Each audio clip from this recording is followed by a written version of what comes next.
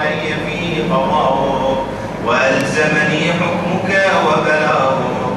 وقد أتيتك يا إلهي بعد تقصيري وإسرافي على نفسي معتذرا نادما منكسرا مستقيلا مستغفرا منيبا مقرا مذعنا معترفا. لا أجد مفرا مما كان مني ولا مفزعا أتوجه إليه في أمري غير قبول عذري وإدخال كياي في سعة من رحمتك اللهم فاقبل عذري وارحم شدة ضري وفكني من شد وثاقي. يا رب ارحم ضعفاء بدني ورقة جلدي ورقة